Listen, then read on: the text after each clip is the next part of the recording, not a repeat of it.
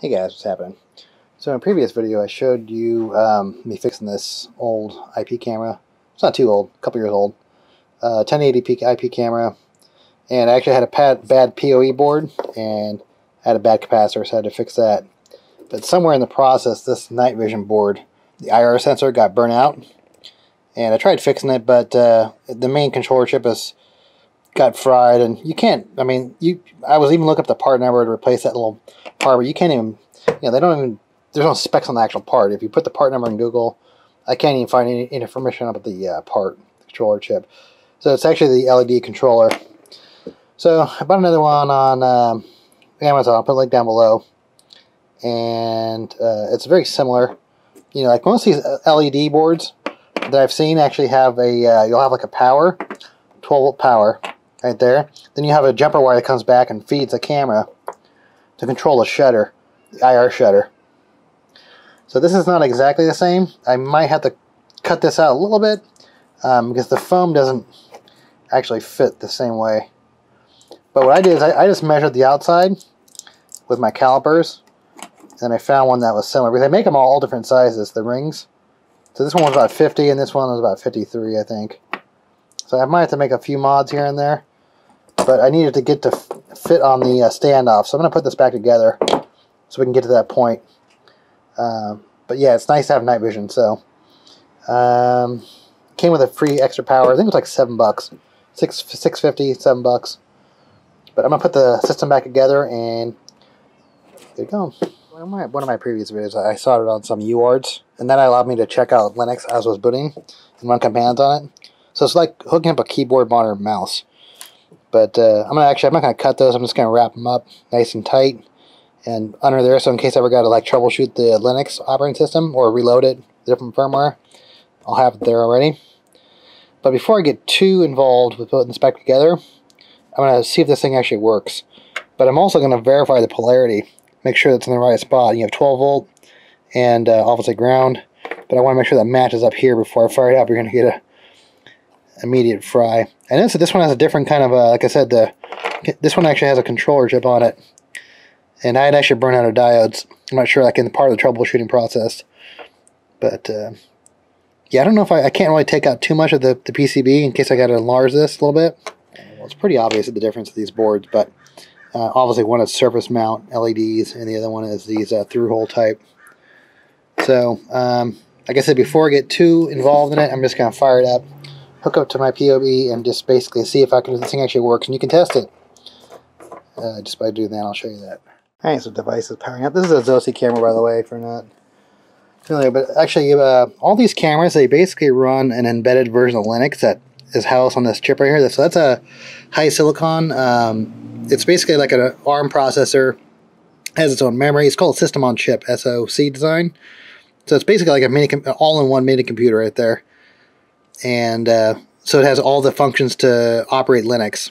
You know, like I said, processor, RAM, storage, uh, I/O, input output. So you might not um, see these LEDs, but I can hear the shutter clicking.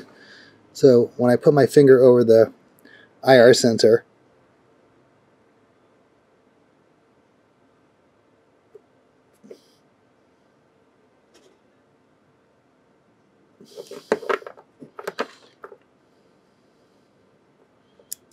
Hear that clicking?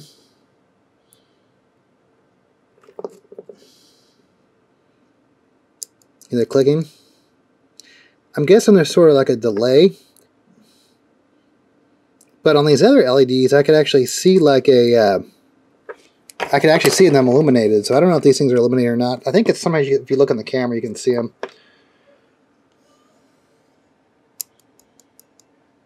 Yeah, I hope you can hear that clicking. So I know it's it's setting the IR is setting it back to the shutter to tell this thing to manipulate the the uh, the focus. But I don't know. I'm not going to know until tonight to see if this thing actually works. It's actually illuminating. Like I said, on this one, I, it would actually kind of turn slightly red so I could see it. But I know this IR thing is actually working right because it's, it's manipulating the shutter here. Alright, I'm going to get the board back on there and then I'll uh, get the other thing mounted on here. So now that I know this camera works, I had to use my little Dremel tool and open these up a little bit because this thing is, this original one was 50, 50 millimeter and this one is 53 millimeter. So I just had to take it on the edge a little bit here, here, because it was actually binding on these little things right here. So, and then you have um, this little foam thing that goes in there, and that kind of fits into this little gap right in there, like right there. That kind of closes the gap so there's no air between the lens and the thing. But I'm actually, I might, I might clean this thing because it looks like it's kind of, kind of dirty. So, uh, even though it's, even though that, the outside doesn't really matter, but I'm going to take my, uh, get some, maybe some Windex, clean this, clean this lens off. Get the phone back on. Looks like I had a sticky thing on it. Put that down there. And that should hopefully close the gap like there. See that goes in like that?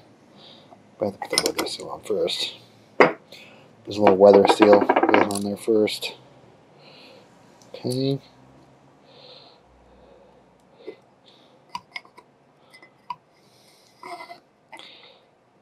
There. I'm gonna screw that back on there. Alright, so hopefully you can see this. This is actually my Blue Iris. So I'm actually in the process of revamping my uh, DVR system. Uh, that's my Bronco and my F250. You've seen other videos. Um, so what I'm trying to do is, I just didn't like the Zosi DVR or NVR. Um, really had horrible options on it. So um, yeah, the frame rate is not going to be good because I'm recording this video. Plus it's on my server. I'm actually remote desktoped into my, one of my servers. So um, this is actually the test bench right there, and you can see my oscilloscope and other things there. So I'm gonna wait till the night to see if it actually activates the the night vision and see what happens. So before I put it totally back together and back up, I want to make sure it works. Um, but I actually have a pretty cool other camera coming in and um, duo camera, but I'll show you that. I'll take it apart and we'll take a look at it. But also, uh, maybe I'll make another video about me getting these uh, Zosi cameras to work in a non-Zosi uh, you know, NVR. So I'm, ta- I'm basically taking a Linux-based camera that was never designed to work with a third-party solution, actually, and make it work with uh, this Blue Iris or other NVRs. But okay, it's cool. all right. So it's actually nighttime, and it looks like the IR filter is actually working here, or the night vision.